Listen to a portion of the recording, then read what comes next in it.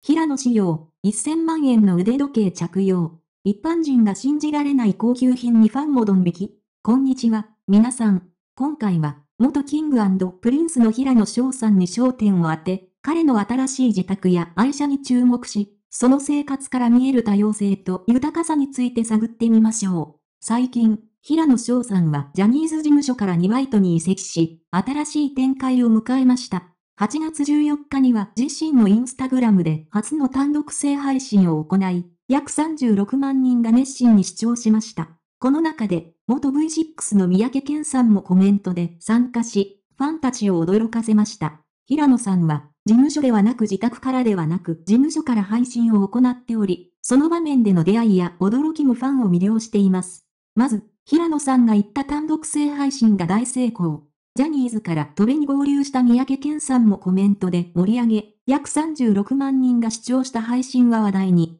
また、配信中には平野さんのスマホが鳴り、なんと、ストーンズの森本慎太郎さんからの電話が。これにはファンたちも大興奮し、SNS 上で賑わいました。一方で、平野さんの手元に輝く高級腕時計が注目を集めています。これは超高級ジュエリーブランドによるスイス製のもので、多くのダイヤモンドが散りばめられており、その価格はなんと1000万円を超えると言われています。平野さんはこれまでの活動で得た成功を示すようなアイテムを身につけており、SNS 上ではその価格に対する驚きの声が広がっています。また、彼のファッションセンスも注目されています。ロエベの新作ロゴ入り T シャツやスニーカーブランドガウィズホワイトと KREVA の限定コラボモデルを着用し、そのスタイリッシュなコーディネートがファンの間で話題となっています。さらに、平野翔さんは高級車乗りとしても有名で、東京原宿で目撃されたり SNS で拡散されたりしています。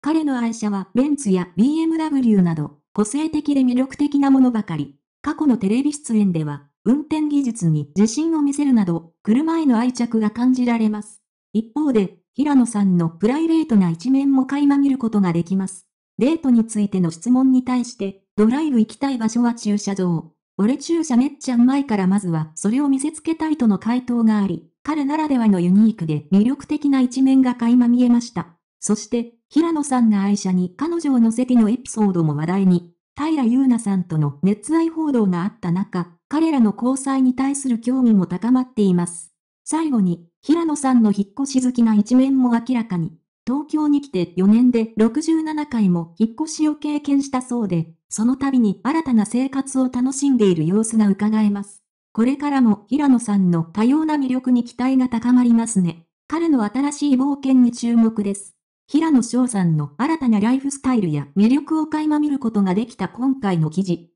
彼の多彩な活動とファッションセンス、そして引っ越し好きな一面など、彼のファンにとっては新しい発見があることでしょう。今後も彼の新たな動向に期待したいところです。